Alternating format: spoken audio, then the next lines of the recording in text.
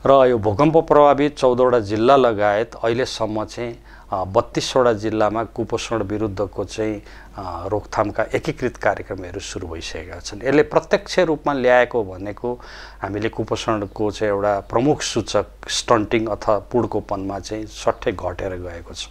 भनेदेखि कुपोषणले हुने मृत्यु हुने दर पनि ठ्याक्कै घटेर गएको छ।